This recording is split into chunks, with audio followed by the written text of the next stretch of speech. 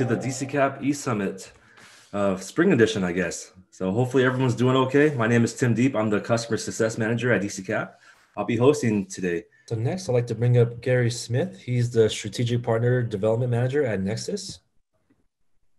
Uh, Gary is a uh, he. So Nexcess, uh, they, they, provide hosting for Magento, WordPress, and WooCommerce sites.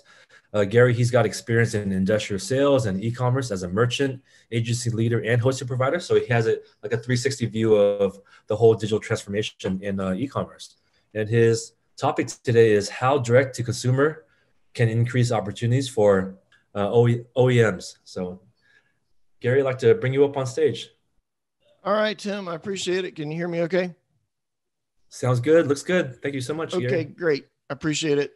Um, you know, I'm reminded of those college team presentations where you all did your own research and independently put some of the same points on some of the same slides because I'm afraid you're probably going to see be seeing some things again because we've just all come to the same uh, conclusions and have all observed some of the same things naturally about the landscape we're in. Uh, so I think I think some commonalities to a lot of these presentations um, have been and will be um, how the world's changing naturally, how e-commerce is growing exponentially, and um, you know we're all we're all sort of acknowledging the uh, the Amazon factor today. Uh, I won't be any exception, but I'll I'll try not to be too redundant with these observations. I'm Gary Smith. Uh, as Tim mentioned, I'm a channel partner rep with Nexcess. Uh, we work with DCKAP extensively, and I appreciate the opportunity to speak today. Uh, we do uh, managed application hosting. We're we're owned by Liquid Web, and we're we're the part of the company that provides hosting that is specifically tailored for WordPress, WooCommerce, and the area where we work with DCKAP the most is Magento.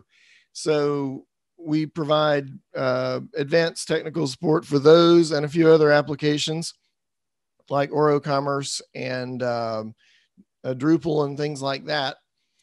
So, as mentioned or as promised, we'll we'll get into some observations about how the landscape's changing. I do want to offer this that may be a little different than what you've heard today. Uh, one of the things that COVID, the year of COVID, as I think we'll mainly know 2020 and part of 21 for, has um, exposed us all to that maybe we've all gotten a little bit um, complacent about is supply chain scarcity. As we talk today, uh, depending on what part of the country you're in, you may be more or less affected by this, but there are gas shortages in some places because of a pipeline that's been um, just electronically hacked with some with ransomware, I believe. Um, and of course, all of us in the South, we're used to those panic buying situations. Some of us are getting our five gallon gas cans and lining them up and going to the gas station. So scarcity or perceived scarcity sometimes really breeds um, or exposes some of the complexity and and fragility of the supply chain. The thing I've got up on the on the screen right now is a webcam that I checked recently and they're back to normal. You can buy these any day of the week now. But last year when I had two college students and my wife um, needing webcams for class, for work, uh, church related stuff where they hadn't necessarily needed one before, or perhaps they came home for, from campus and they had one in their apartment where they lived in in that town, but forgot to bring it with them. And so all of a sudden, everybody needs a webcam. And we weren't the only ones who needed a webcam as evidenced by the fact that this webcam i'm showing you on screen which normally you can buy from i don't know $65 to $80 the day i looked at this this screenshot is from 2020 and the price was $89 or $90 and you couldn't get one uh, they were on back order i saw some on ebay for over $200 so this is kind of a consumer item. What does that have to do with B2B e-commerce and why you should be in it? let me move on to the next point. I think most, if not all, of these stats may have been seen by you already today if you've attended all the presentations. But it is it is just almost impossible for us to get our heads around what has gone on with e-commerce uh, in the past year. And I think one of the reasons it's hard to get our heads around is because it was already growing in a hockey stick curve. And and if it's possible to go from a hockey stick curve to even more vertical, COVID 19 did it for us. The anecdote that I often use is my 80 plus year old mother in law is buying groceries online now instead of going through all the aisles at the supermarket and writing a check at the end of that process. Um, my wife's having to help her with it, but nevertheless, her money is going into an e-commerce platform for um, for that purchase. Um, you know, next stat: buying online was often a consumer's only option in 2020. And the thing that I think is intuitive, probably to everybody listening here today, but may surprise some people out there, is they're not going back. They're finding that it it's more convenient to buy online. And again, that's not just consumer goods. We'll talk about that. Uh, we'll get more into that as we go. But 900 billion with a B more purchased online in 2020 on top of the trends that have been going on for a decade. You may or may not realize this, and I think it's part of what's leading to some of these supply scarcities. Customer optimism is rapidly rebounding. Um, over 50% of customers surveyed by McKinsey around March of 2021 say they will spend extra to treat themselves. Only 15% are pessimistic. Some people have been displaced, some people are having a hard time, but many, many consumers, their jobs have continued as we've gotten through this and through the worst of it, they're more confident that they'll continue to have that job. And so spending is really pretty strong. And that's going to drive not only consumer goods, but of course, as the wheels turn, that'll also drive B2B transactions as well. Another supply chain scarcity issue that I noticed in a listening to a podcast the other day, and here's a stat for it. Demand for automotive electronics is growing 28 to 36 percent. Um, there are car manufacturers today that are shipping cars. Um, I'm not precisely sure what they're doing for a workaround. Maybe putting one of those old double din cassette players in the dashboard in, in lieu of the navigation system or whatever that they can't ship because chips and boards and things are so hard to get right now for certain things. But we're in a we're in a seller's market and so it's really a great time to consider modernizing your processes here's the opportunity. We're going to talk a little bit about the opportunity and we're going to talk about some of the problems. In other words, the, the risk side of this. Um, we, um, our last speaker talked about how the workforce is, is aging and how the boomers are exiting the, um, the management sphere. Well, and I'm, I'm intentionally using this term digital natives and not millennials uh, when we think generationally, we often, I think, somewhat pejoratively apply these generational labels.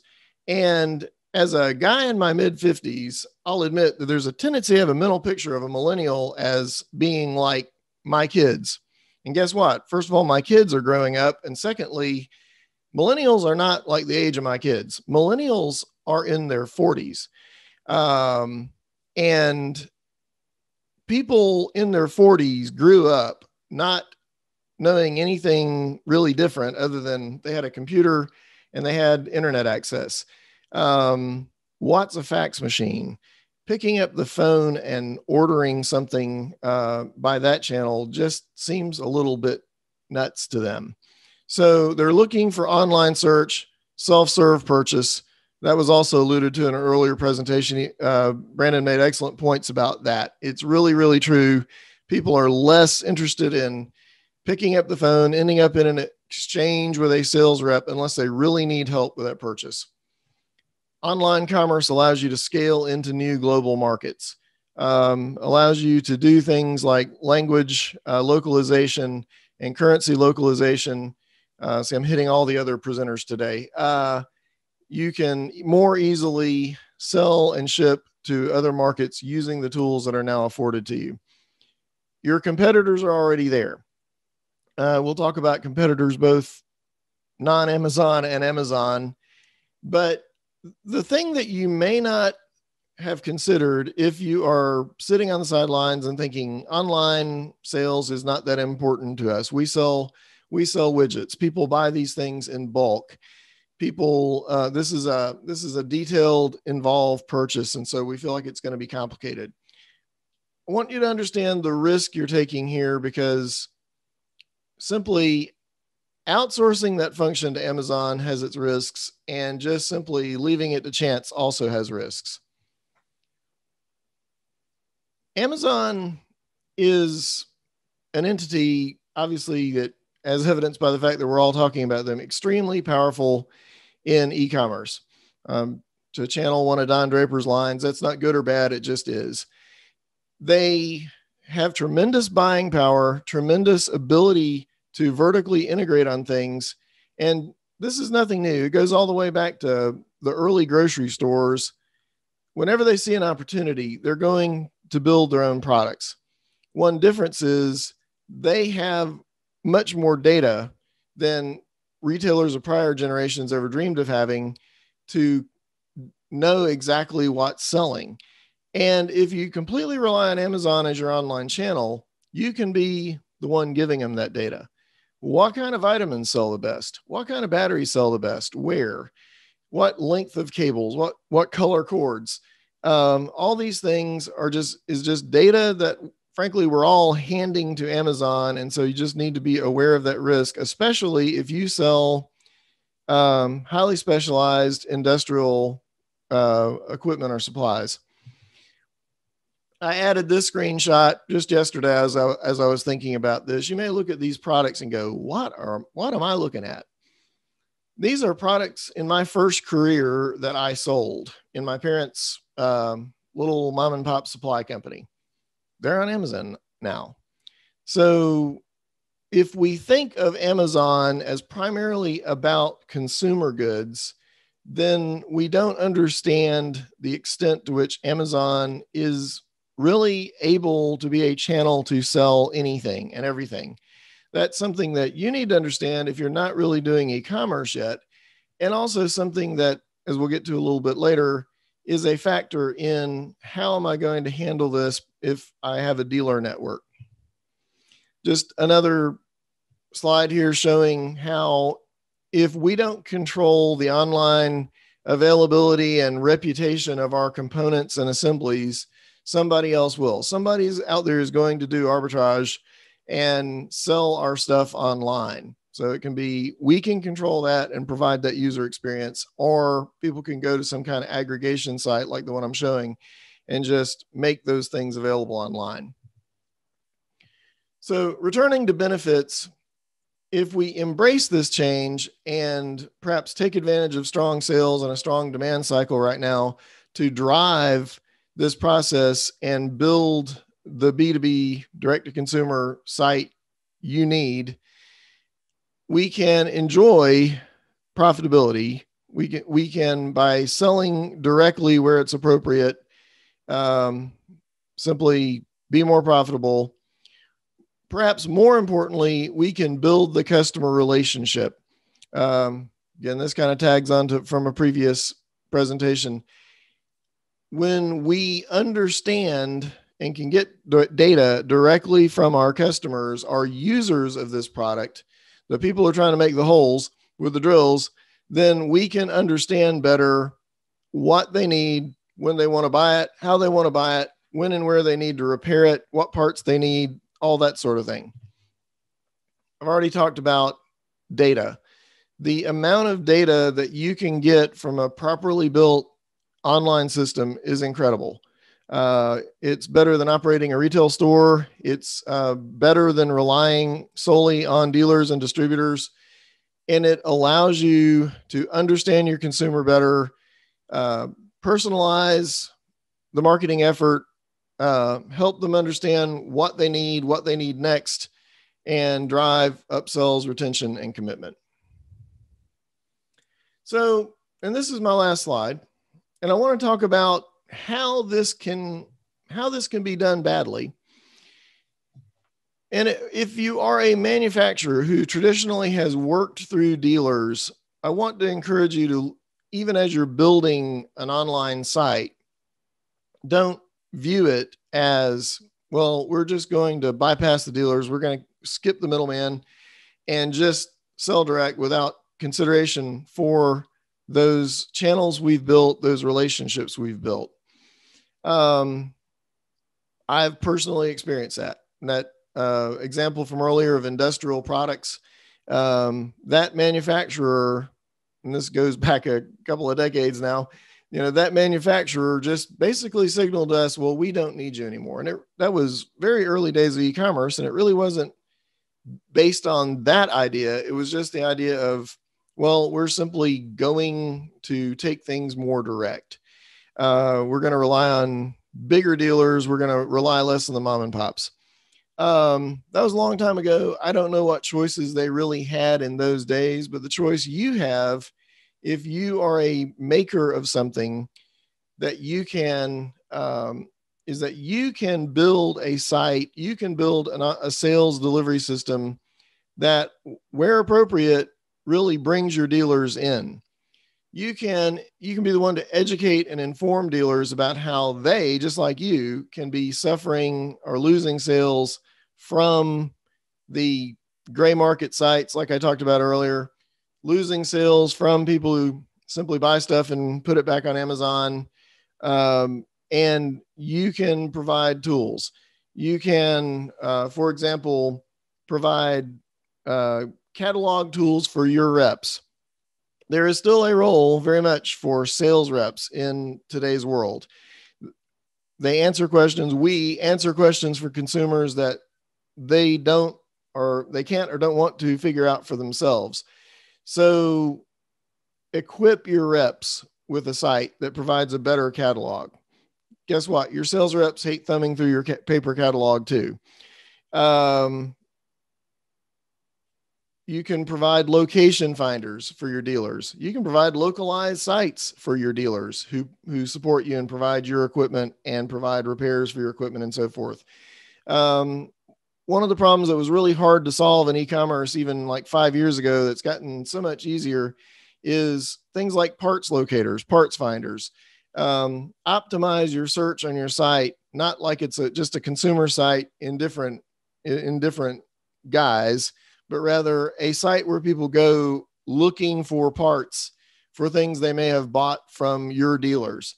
There's a lot of ways to work this where you can make your dealers, your distributors, your partners um, still your partners when you go online and even when you sell through some channels direct to consumer.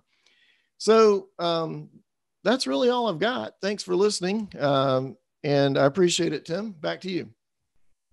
Awesome. Thank you so much, Gary. Thank you for uh, just the partnerships and your presentation. We always value uh, you and Nexcess. So thank you so much. That's it. That's all we have for now. And hopefully, uh, you guys will stay tuned for our next eSummit in November. We do have East sessions every, on a monthly basis on uh, specific case study examples. And I think for the one for for June will be more on the uh, Jansan industry. So the jan- uh, janitor and sanitation industry.